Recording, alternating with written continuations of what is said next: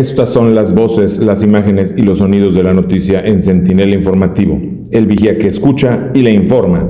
Las noticias con un respaldo legal. El Bureau de Análisis Económico de los Estados Unidos de Norteamérica o el Bureau of Economic Analysis US Department of Commerce de los Estados Unidos. Hace énfasis en la tendencia de que México ha eclipsado a China como el más grande exportador de bienes y servicios, siguiendo una tendencia desde el tercer cuarto del 2023. Y en el norte del estado de Tamaulipas, la Universidad Tech Milenio ejerce un comunicado hablando de situaciones de violencia y sus necesidades de implementar protocolos de seguridad y de resguardo después de que un alumno fuera alcanzado por una bala. La herida, aunque superficial, se agrega a otras situaciones de riesgo en Reynosa.